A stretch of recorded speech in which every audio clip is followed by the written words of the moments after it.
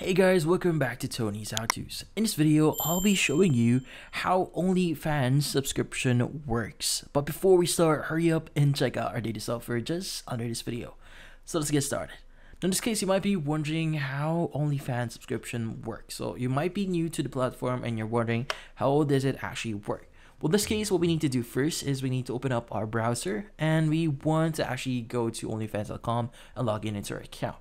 Now in this case, uh, there are actually two types of subscriptions that you can get in OnlyFans. So we have the free one as well as the paid ones.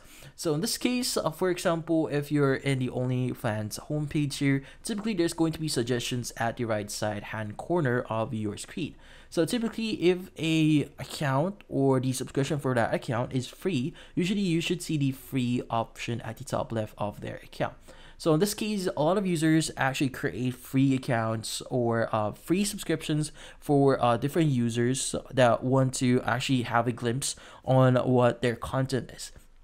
Uh, it's a great way for you to evaluate if you really want to subscribe to their account. But in this case, uh, let's go ahead and open up this account here. Let's go and open it up. So in this case, this is what it's going to look like if an account or a profile here actually offers free subscriptions. Now, for you to subscribe to that uh, to that free one, just click on subscribe for free, and that would actually process that. And as you can see, you're now processed.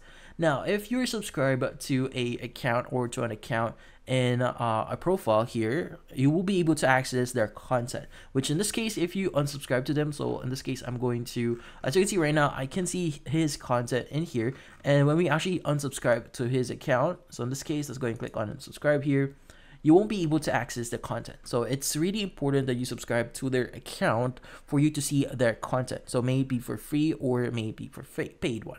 This case is another user, which in this case, uh, the, her account is actually uh, quite, uh, there's going to be a price for her account. So the base for her account here is around $8 a month or for 31 days and you can subscribe to her account here but sometimes users offer uh, some bundles so for example, for three months, you can get her content for 56.97. So this is for three months. Now in this case, sometimes they would give you the limited offer option here since it's actually 60% off. You could get this for $8, but the usual price for account is going to be $19.99, which is $20 a month.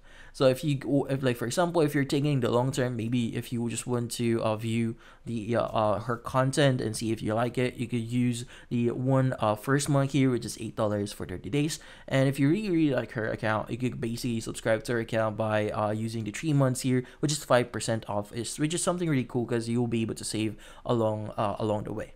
But yeah, if you want to subscribe to our account, just click on subscribe here. And from here, just click on subscribe again.